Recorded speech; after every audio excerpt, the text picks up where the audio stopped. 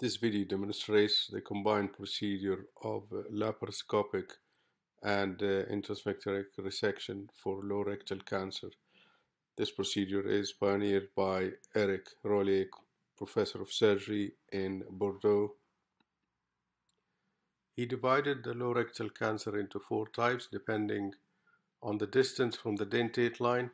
This young lady has a type 2 anterior tumor shown here on the MRI to be 2 centimeters from the dentate line. The tumor was downstaged by long course chemoradiotherapy. Access was obtained by five laparoscopic ports as demonstrated. Medial to lateral dissection starts at the level of the inferior mesenteric vein just distal to the DJ flexure.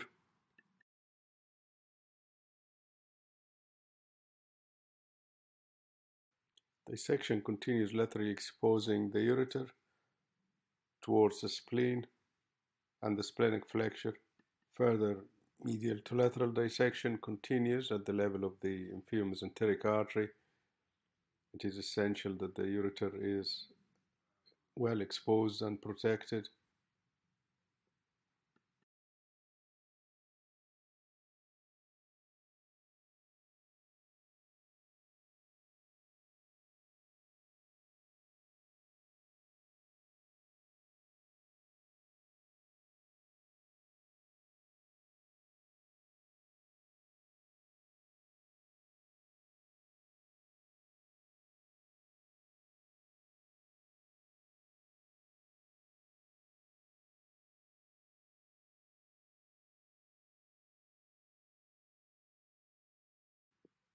The inferior mesenteric artery is skeletonized.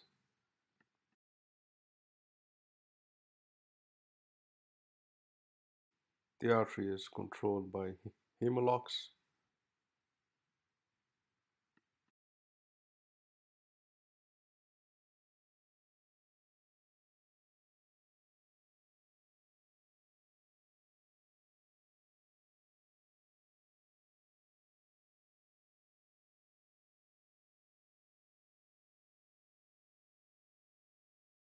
The inferior mesenteric vein is then controlled and divided. Then the sigmoid colon is mobilized from lateral to medial.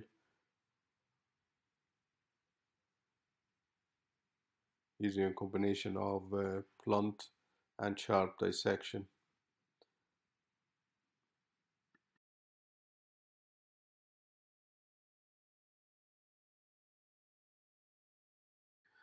The energy device used has a, a monopolar tip in addition to the bipolar uh, ligature technology.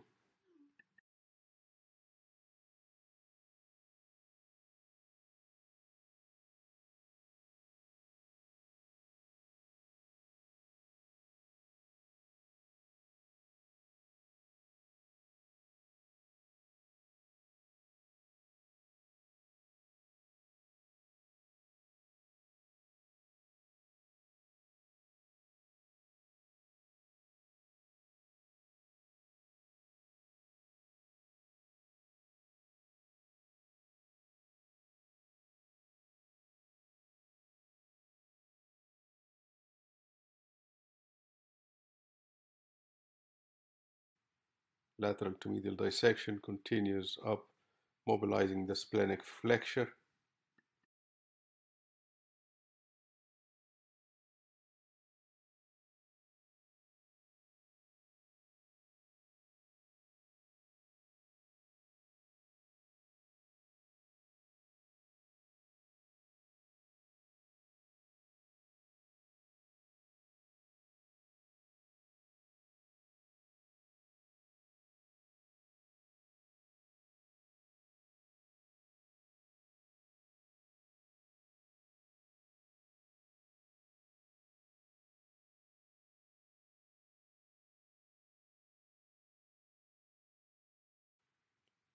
The rectum is then mobilized in the TME planes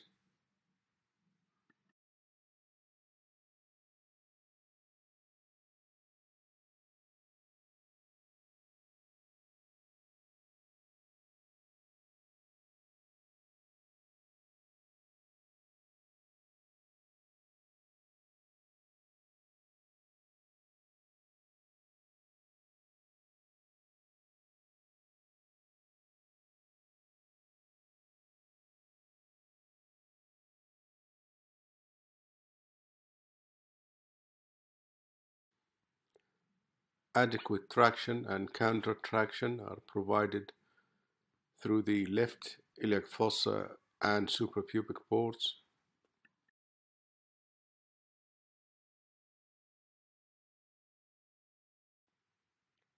The peritoneal reflection is then divided anterior to the rectum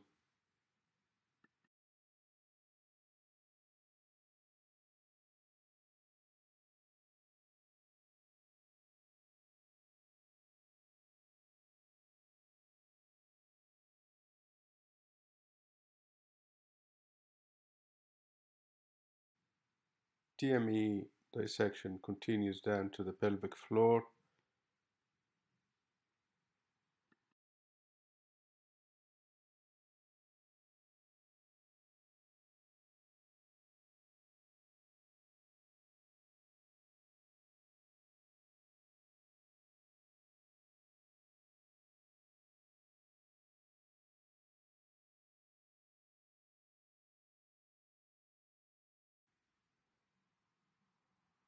The laparoscopic dissection continues into the intersphincteric plane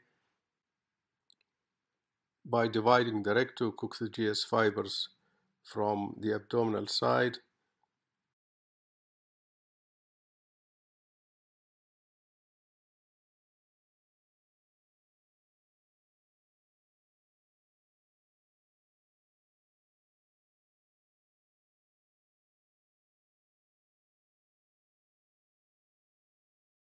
The transanal dissection is facilitated by a Lone Star retractor. The rectum is divided above the dentate line. The rectum is resected in the intersphincteric plane communicating with the abdominal approach. Once the dissection is completed, the rectum is extracted transanally. The specimen is extracted and divide it at the proximal resection margin.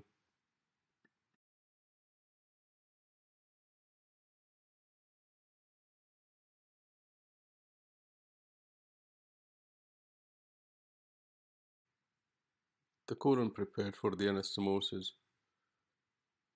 ensuring no tension and good blood supply to the edge.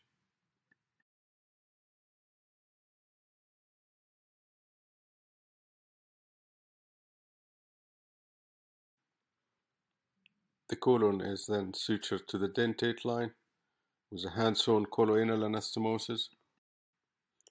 The colon is rechecked for tension and orientation.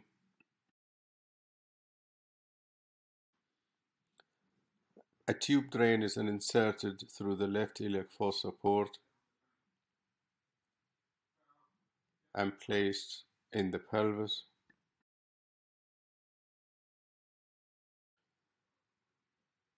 Defunctioning loop ileostomy is performed in the right iliac fossa and the wounds closed.